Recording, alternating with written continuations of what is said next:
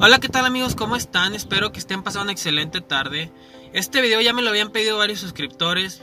Y bueno, el video consiste en reparar el depósito de anticongelante. Ya me lo había pedido mucha gente, ya me habían preguntado cómo podemos repararlo. Y pues bueno, en este, en este video les voy a mostrar cómo lo podemos hacer. Y bueno, ¿por qué me lo piden? Me platica mucha gente, oye, es que todavía no junto el dinero para eh, comprar el recuperador o el depósito eh, de, refrigerante o es que no consigo el original y los genéricos terminan por reventarse. Bueno, y bueno, este video sirve también para las personas que quieren repararlo en lo que juntan el dinero para poder reemplazarlo por el original. Y bueno, primero que nada, este es el recuperador que vamos a usar para soldarlo para la muestra de cómo se reparan. Y el consejo que yo les doy es que no usen plastiacero, eh, pegatanque, ni nada de este tipo de pegamentos porque porque en un recuperador al llevar muchas libras de presión de, eh, bueno, ya sea de los vapores del refrigerante, eh, este, estas libras de presión lo que hacen es volverlo a despegar, lo botan, ¿me entiendes? No, no se, o sea, lo vuelve a despegar. Entonces no tiene caso que utilices un, un pegamento, un sellador, un pegatanque o algo de este tipo de materiales porque la verdad no sirven. Y bueno, primero que nada vamos a conseguir un cautín o un cautín de este tipo de marca Wheeler o un cautín normal para soldadura de estaño. Una vez que consigamos esto, lo que vamos a hacer es conectarlo obviamente a la luz y esperar a que alcance la temperatura adecuada. Bueno, primera que nada para la gente que no sabe cómo es este, esto de la soldadura de plástico, bueno, más que nada consiste en que al usar un cautín, al usar un cautín lo que pasa es que el plástico se derrite. Si ponemos dos piezas de plástico, como en este caso lo estoy mostrando, que es una unión, pasamos el cautín, al momento que lo derrite, lo que hace es formar una sola pieza al momento de que seca. Debido a que se derrite, se mezcla el plástico, seca y se convierte en una sola pieza. Y a esto es lo que le conocemos como soldadura de plástico. Después de que alcance la temperatura, lo que vamos a realizar es empezar a hacer círculos en, el, en lo que es la grieta donde está eh, dañado lo que es el depósito.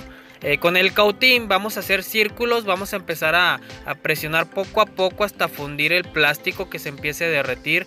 Al hacer círculos lo que hacemos es volverlo a mezclar, lo que hacemos es volverlo a unir en una sola pieza. Y de esta forma estamos empezando a soldar el, plástico. Hay que raspar un poco lo que es alrededor de la grieta para estirar un poquito el plástico hacia lo que es la parte que está dañada. También debemos de tener cuidado de no perforar totalmente lo que es el recuperador, bueno, el plástico. Eh, entonces poco a poco vamos a empezar a remover plástico, lo vamos a, estirar de, las orillas del contorno de, la grieta para empezar a rellenar esta parte que está dañada y asimismo vamos a, estar fundiendo el plástico para que quede eh, pues como nuevo, que quede como una sola pieza como era en el inicio.